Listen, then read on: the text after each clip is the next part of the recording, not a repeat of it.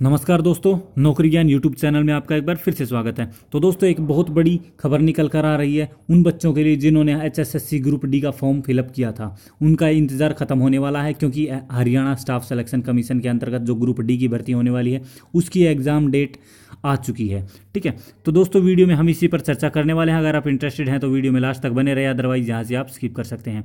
तो दोस्तों, वीडियो में आगे बढ़ने से पहले मैं आपको बता दूँ, अगर अपने चैनल को सब्सक्राइब नहीं किया तो चैनल को सब्सक्राइब कर लें, साथ में बेल आइकन को दबाएँ। उसका फ़ायदा ये होगा कि फ्यूचर में जो कोई भी वीडियो डाली जाती है उसका नोटिफिकेशन आप तक टाइम टू टाइम पहुँचता रहेगा। तो चलिए दोस्तों चलते हैं ऑफिशियल नोटिस की तरफ़ बिना टाइम खराब किए। तो दोस्तों जैसा आप देख पा रहे हैं ये एक मेल मेल है ठीक है? जो मेल सेंड किया गया है H S S C Panchkula की तरफ़ से किसे किया गया है? तो डिस्ट्रिक्ट एजुकेशन ऑफिसर कैथल को ठीक है? ये क्यों किया गया है? ये सारी पड़ताल करने वाले हैं हम इस वीडियो में ठीक है? तो आप दे, देखेंगे तो जो डेट है पाँच दस दो रखी गई है कैथल के लिए है ठीक है? ये कैथल के लिए सेंड किया गया है। तो देखिए, इसमें दिया क्या गया है। From the secretary Haryana staff selection commission bays number सड़सठ सत्तर सेक्टर दो, पंचकूला से ये जो नोटिस है, भेजा गया है, मेल है जो भेजा गया है। किसको भेजा गया था? District education officer Kaithal. Kaithal के जो डिस्ट्रिक्ट डिस्ट्रिक्ट एजुकेशन ऑफिसर है, उनको भेजा गया है। हालाँकि ये भेजा हर डिस्ट्रिक्ट के ऑफिसर को गया होगा, लेकिन हमारे पास जो है वो डिस्ट्रिक्ट एजुकेशन ऑफिसर कैथल का ही है, ठीक है?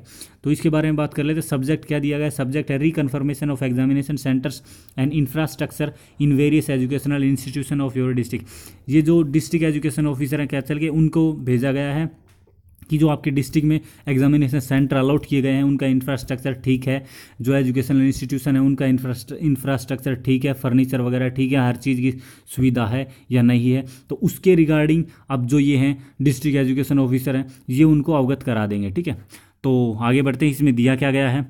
तो दोस्तों, वैसे तो ये ऑफिशियल ईमेल से सेंड किया गया है, जैसा आप देख पा रहे हैं। ईमेल जो secretary H S S C zero one at the rate Gmail dot com H S S C exam branch at the rate Gmail dot com से भेजा गया है।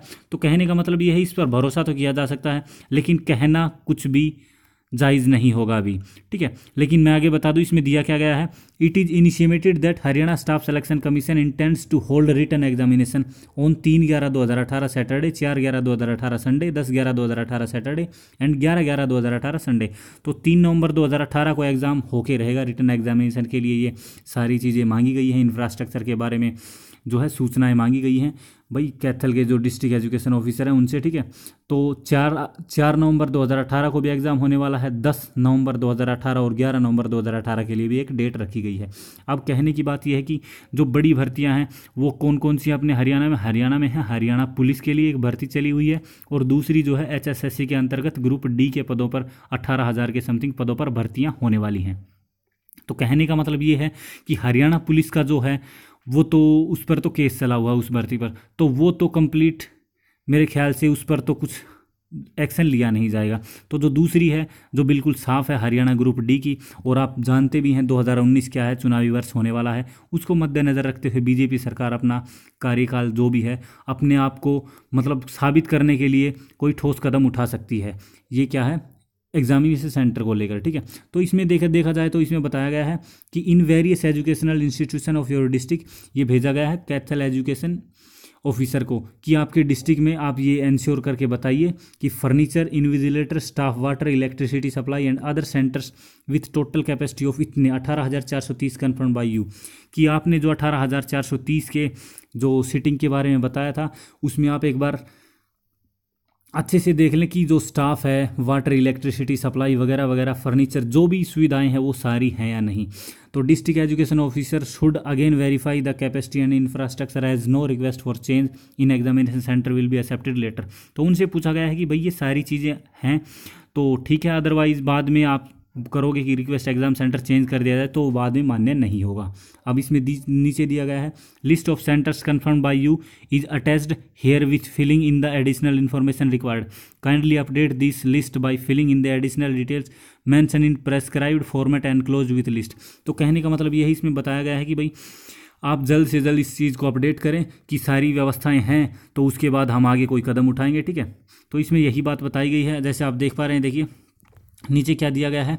जैसा आप देख पा रहे हैं you are also requested to confirm whether any other examination is to be conducted or not by an central government state government or any other organisation on the about dates और कहने का मतलब ये है, आपसे विनम्र निवेदन है, आप ये कंफर्म करके रखिए कि उस डेट को किसी, कोई भी अदर एग्जामिनेशन ना हो सेंट्रल गवर्नमेंट का स्टेट गवर्नमेंट का, या कोई भी ऑर्गेनाइजेशन द्वारा वो कोई भी इस डेट को एग्ज़ाम ना हो। इन्फॉर्मेशन इन दिस रिगार्ड में प्लीज़ बी गिवन अगर ऐसी कोई बात है तो आप मेल कर सकते हैं, जो ईमेल आईडी दी गई है secretary H S S C zero one at the rate Gmail dot com and H S S C exam branch at the rate Gmail dot com पर, ठीक है?